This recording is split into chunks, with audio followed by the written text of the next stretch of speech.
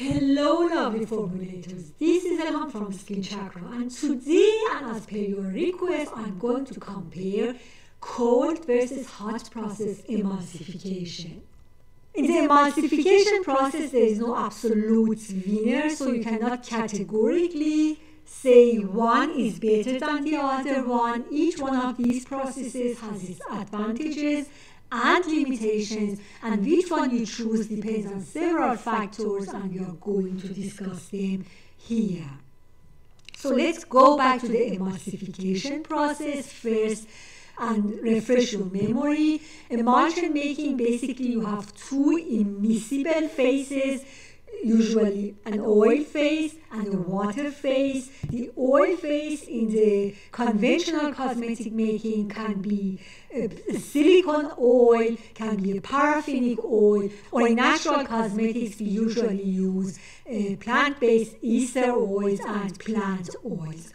These two immiscible phases are blended together with the emulsifier in one of these two phases.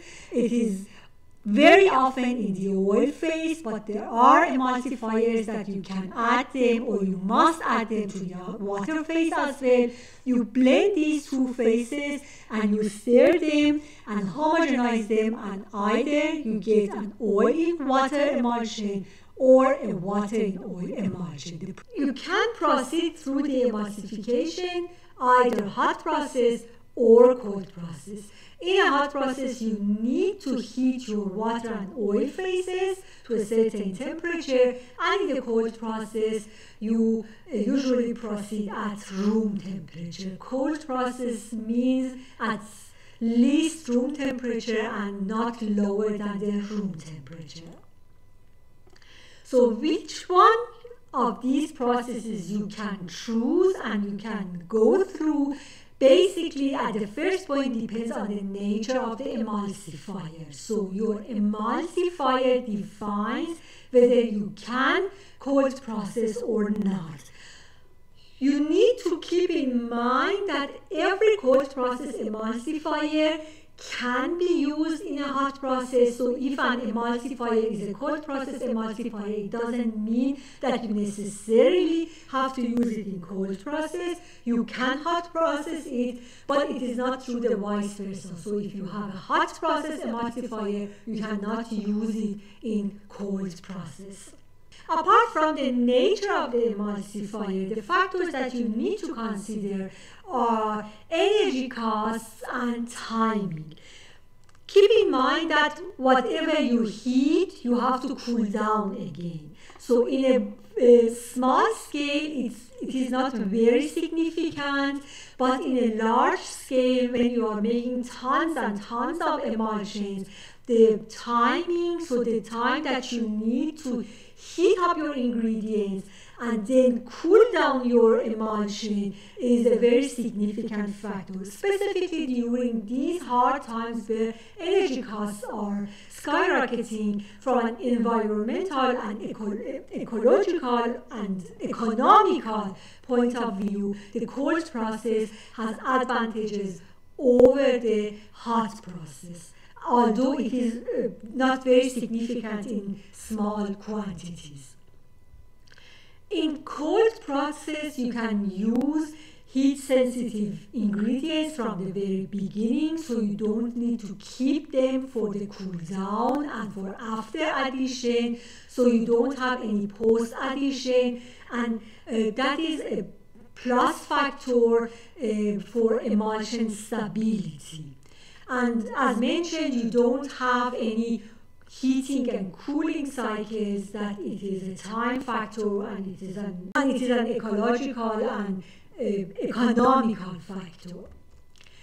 In hot process, you are heating your oil and water phases and you are using thermal energy in addition to mechanical energy to create the emulsion. So this is a plus factor over the cold process. And basically hot process emulsions are easier to preserve.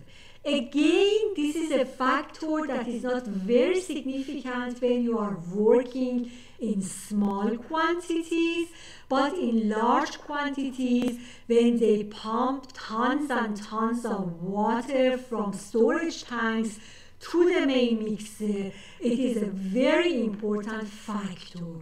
So the factors that you need to consider are time consumption, energy requirements, preserving efficacy, and long-term stability, which is again very important, no matter how big your batch is.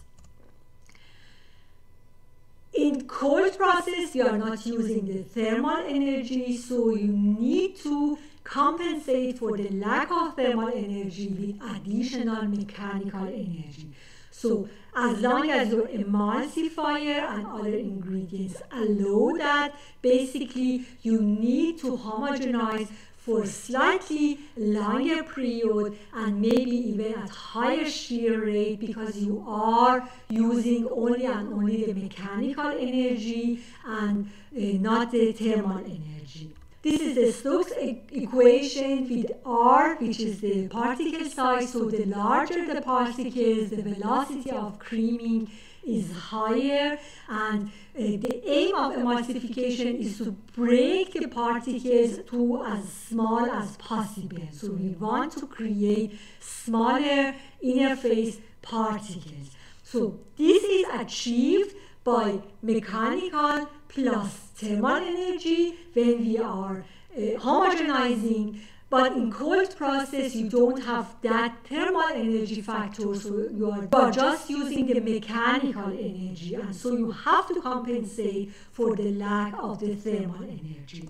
Here you see two microscopic views of two emulsions the left one with much smaller particles and obviously much more stable, and the right one or the particles are much bigger and they have already coalesced and come together and the emulsion is less stable or has a shorter shelf life. And uh, the, our aim is to create emulsions with smaller particles and more uniform particles. It brings us back again to the factor that in a cold process, you need a higher shear and slightly longer time of homogenization to break down the particles and create that uniform smaller particles. Preservation and contamination, as mentioned, is another factor that you need to consider. In cold process, you are not heating your water and uh, your ingredients, so the possibility that they have some contamination already, specifically when you are working with plant material, is there. But uh, when you are heating your water and your oil phase, um, a large part of uh, contamination is uh, already removed or deleted. In hot process, you need to add some of your ingredients that are heat sensitive after the emulsion is made and during the cool down. How much you can post add? This is a very frequent question and honestly there is no general answer to that. How much you can add depends on the nature of the emulsifier, depends on the nature of the ingredients that you are post adding, their impact on the viscosity. So you may be able to add for a certain emulsifier up to 10% uh, post addition. Uh, for other emulsifiers, you can go up to 2%. It still depends on the nature of the ingredients that you are adding. So the best way to figure it out is Um, experimenting and testing the stability. Nobody can give you a general or exact response to this question, and you need to test it in your system. So the next question is how hot is hot? So how high you are allowed to go or you shall go in a hot process. So one of the, the main factor is the emulsifier, so which temperatures does the emulsifier need? The other factor is the melting point of uh, the ingredients in your oil phase. Some emulsifiers are very forgiving when it comes to temperature, so you have a broad range to experiment or to uh, heat your uh, phases. With some of emulsifiers, they are not that much forgiving and you have a very narrow range for emulsification. So if you are slightly lower than that range or higher that, uh, that, that range, either you have no emulsion at all or the emulsion will, will break very fast, very soon. This is another factor that you need to experiment with your emulsifiers and I recommend as always to start with a very simple kiss emulsion to figure this out. Another point is the melting point of the ingredients that you are using. So if your emulsifier works at 70 degrees centigrade, but you are using waxes with a melting point at 85, obviously you have to go to um, at least 85 uh, for emulsification because you want to have all of your oil ingredients uh, melted and in a homogeneous phase or when you are working with ceramides, with powder ceramides, you have to heat your oil phase up to 90 degrees to incorporate the ceramides in your oil phase. So these two factors, one is the nature of the emulsifier, the other one is the melting point of the oil phase. If you are just working with liquid oils, no butters, no waxes, no powders that need heating for incorporation, then the defining and determinant factor is the nature of the emulsifier. In best case, you heat both faces to the same temperature with maximum 5 to 10 degrees difference. So in small uh, batches, you can uh, and in laboratory batches you can heat both of them in the same uh, water bath or in same bain-marie so you have the same temperature again depending on the emulsifier these two temperatures must be very uh, matching or can deviate. It depends on the nature of the emulsifier. With some emulsifiers, you can even have your oil phase at 80 degrees and your water phase at uh, 40 45 degrees but in most cases and for uh, getting a stable emulsion you need to heat both phases to a very narrow temperature range and with the maximum deviation of 10 degrees centigrade. So when you a playing room for the temperature, when you are working with a cold process uh, emulsifier or an emulsifier that allows you to play with temperature in a very broad range, still you need to consider the impact of the temperature on the stability, on viscosity, on texture, and eventually on the color of the emulsion. In cold process, as I mentioned, you can use every cold process emulsifier in hot process or warm process. And uh, although you generally prefer the cold process because of the energy factors and the timing factors, we need to consider the impact on the stability, on the viscosity, and on the texture basically making hot process emulsions is easier when it comes to stability compared to the cold process. So cold process emulsions are more susceptible to instability, thermal and mechanical uh, instability. So this is something that you need to consider and uh, need to know that you can even use the cold process emulsifiers in hot or warm process in order to get a more stable emulsion. Specifically, if you are a novice formulator and you are not quite fit in emulsification yet,